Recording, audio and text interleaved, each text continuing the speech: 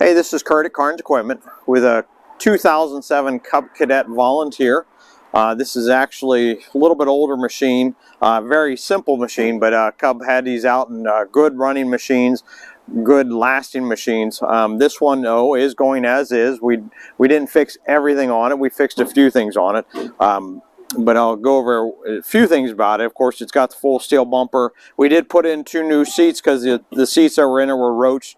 Um, this is more like a 25 mile an hour utility machine. So this isn't a fast machine, pretty slow machine. This one though, um, what's different about this one is this one does have a uh, cat Caterpillar motor in it. So it is a diesel motor, three cylinder motor. Great, great motor. We did go over the motor. The motor is solid.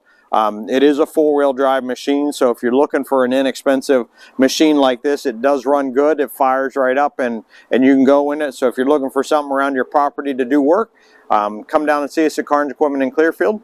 You can also call us at 814-324-5251 and you can find it on our website at carnsequipment.com.